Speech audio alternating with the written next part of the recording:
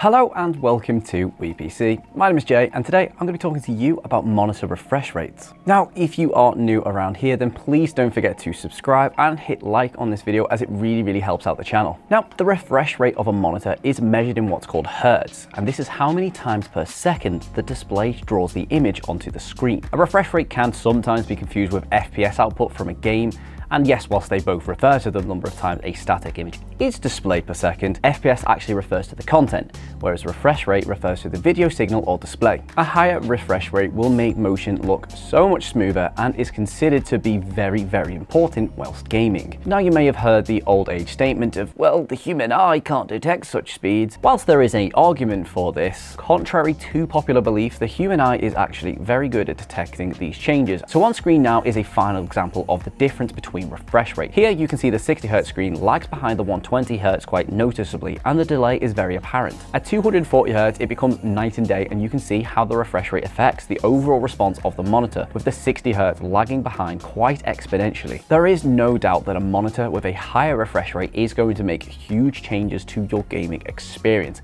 especially when you're going from say a 60 Hz to a 144 Hz. But that being said, there are a few things that you need to know before you do just go and upgrade. Now, you're going to want to make sure that you can achieve the same value FPS in your favorite games to match the high refresh rate of your chosen monitor. If your system can only manage 30 to 60 FPS and then you go and buy a 360 Hz monitor, many of those screen refreshes just won't contain new frames of information and it'll leave you rather unsatisfied with the end result. And it is also worth noting that monitors with a higher refresh rate will become increasingly more expensive the higher you go.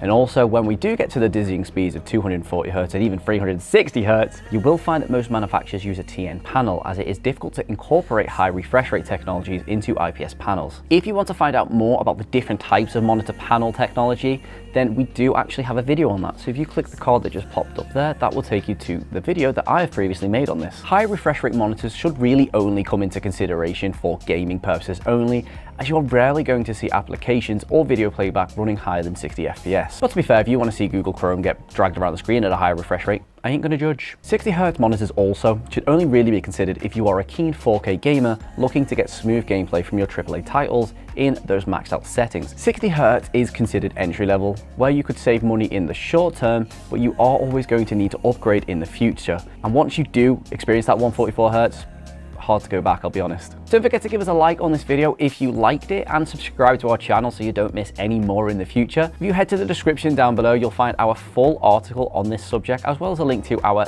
Discord server. I've been Jay, thank you so much for watching, and I'll see you in the next one.